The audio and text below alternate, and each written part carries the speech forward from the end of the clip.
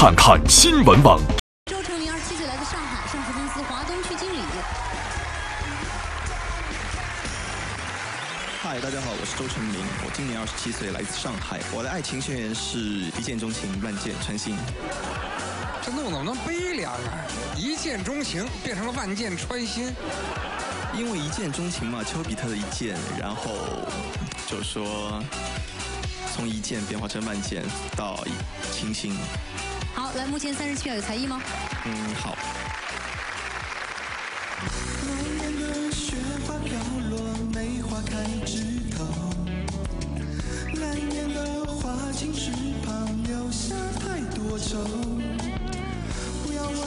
谁是谁非，感情错与对，只想与你梦里一起再次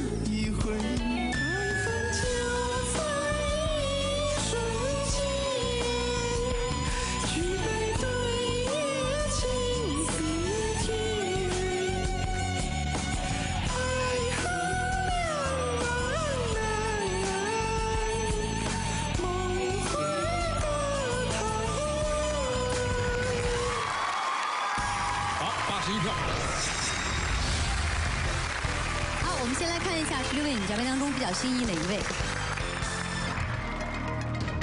哦，是他。好了，现在你摁动这个按钮，来看看电脑是怎么替你做选择的。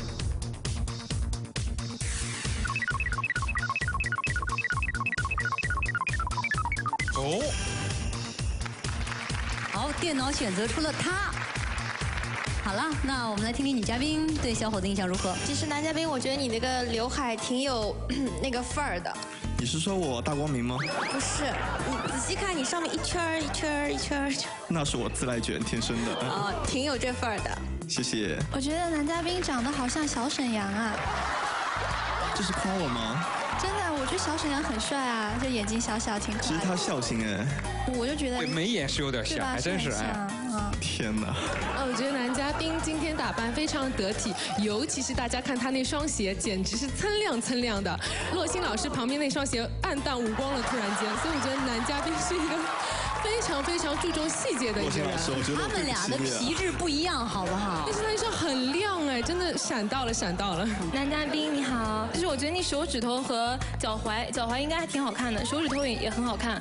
这个两满足这两点，我想问一下，穿着裤子怎么看出脚踝的？其实通过他膝盖的粗度，大概能够判断他脚踝的粗细度。然后以他的身高来看，小腿的长度，脚踝应该蛮美的。不信露出来看一看了。孟老师，来来，真的要露吗？然后你手指好看，脚踝好看，两点好看，对我而言就是百分百审美。所以你在我眼里真的是百分百帅哥。谢谢。不客气。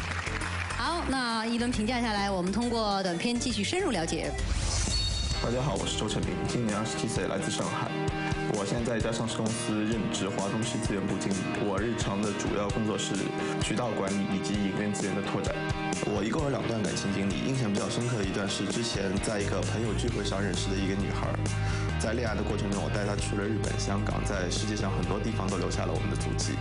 但是由于我工作的原因，我被公司派到了北京，在经历一段很挣扎的过程之后，我跟她和平的，分手了。呃，我喜欢的女孩子类型，她要有一头长长的秀发，然后有大大的眼睛，一个比较好的身材比例。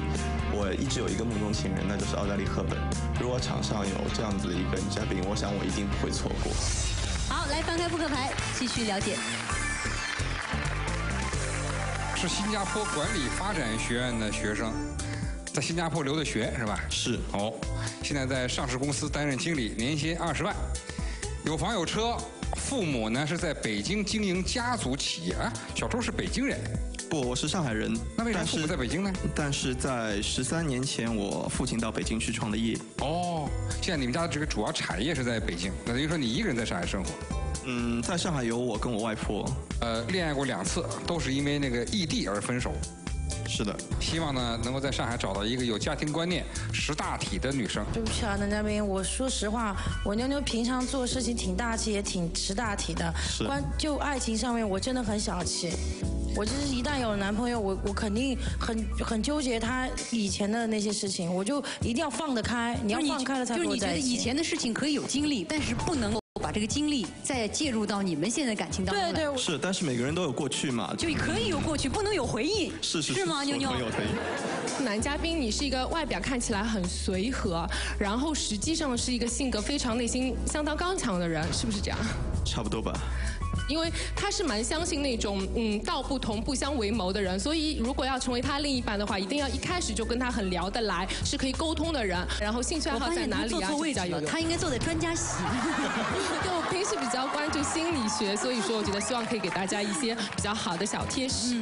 谢谢。哎，男嘉宾你好，我提个建议，你把目光往我们这边看一下，因为贺威啊，他跟我旁边一直在把脉，说他他的脉搏跳得好快，但他但不过他一直默默的没有跟你沟通。谢谢。好，那如果说愿意支持他的话，一定要记着给他投票。来，各位，三、二、一。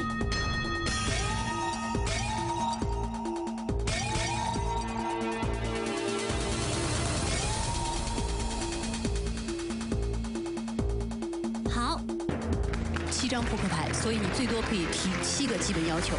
建议我一个月出差三次以上的，请翻牌。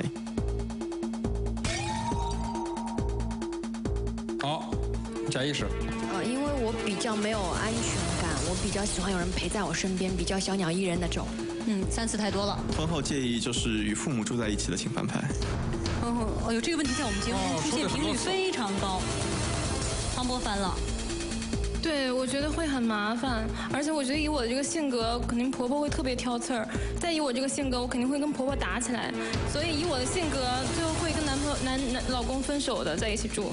这我不理解啊！这个你是你说了你自己有房有车，父母又在北京经营家族企业，你为什么一定要提出这个条件呢？就现实环境当中没有这样的机会。因为是这个样子，我父母很在我很小的时候就去北京了，然后我的情况有些有可能跟有些人是相反的，别人就很希望就是说是结了婚离父母远一点，而我就是很期望那种一家子团团圆圆就是和和美美的那种感觉，所以说哪怕我房子再多，车子再多，我我能住的地方再多，但是我希望就是一一大家子然后在一起的那种就是一种。心愿，希望跟爸爸妈妈同住。嗯，好，那庞博。而且我爸做饭做的特别好，好，来下一个要求。呃，没了没有了，没有了。没有的话，那我们就要问接下来还亮着扑克牌的四位女嘉宾了。她没有提满七个要求，所以是否要继续支持她、选择她，请做最后的判断。来，来三、二、一。为你留牌的是三号贺威和十号婷婷，来，有请二位。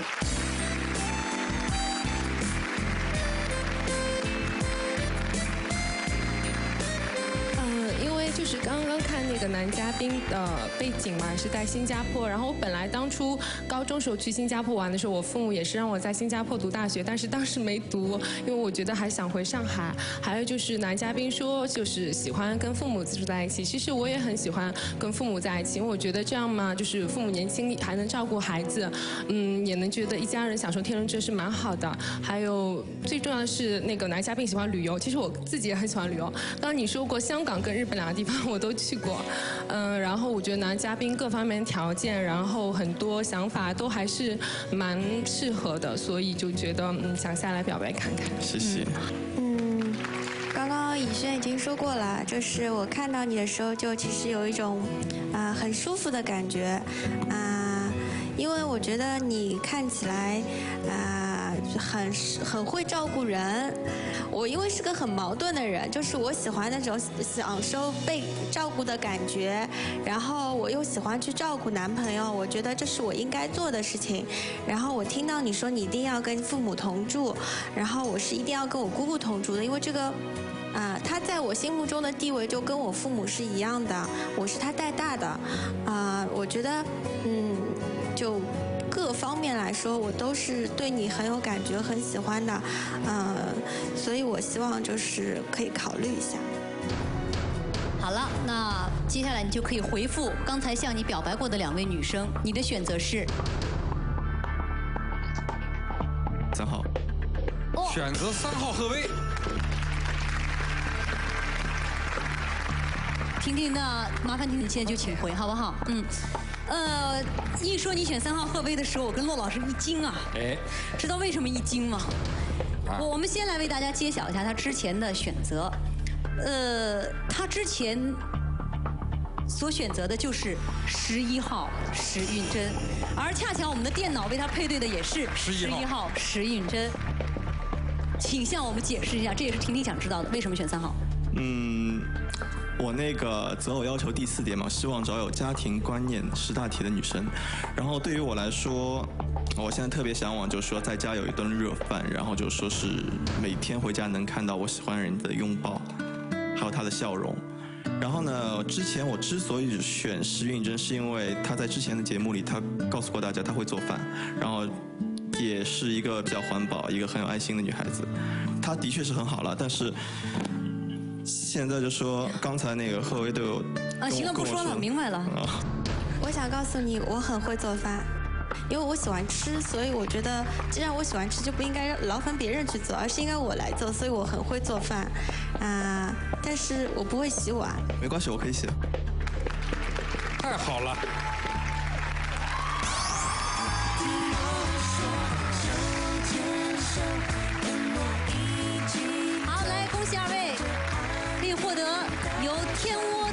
亲情提供的两张张学友香港演唱会门票以及当晚两间五星级酒店的住宿，同时还将获得帅康厨房电器提供的小厨宝产品一对和老庙黄金提供的精美饰品。听我说，就牵手